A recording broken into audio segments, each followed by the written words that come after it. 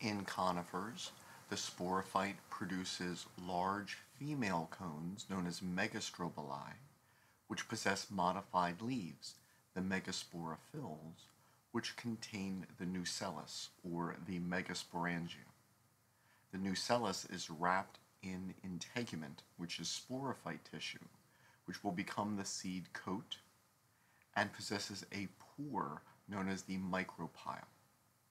The megaspore mother cell undergoes meiosis, three of which degenerate.